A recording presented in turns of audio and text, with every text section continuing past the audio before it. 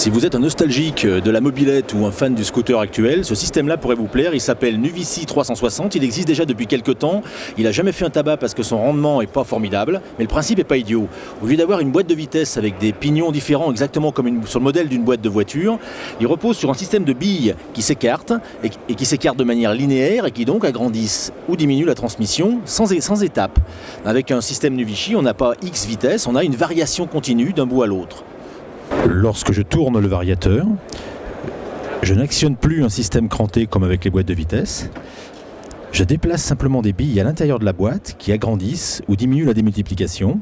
De cette façon, le nombre de vitesses est infini, la- l'augmentation ou la diminution est linéaire. C'est un petit peu le système qu'on a sur les bonnes vieilles mobs à variateur.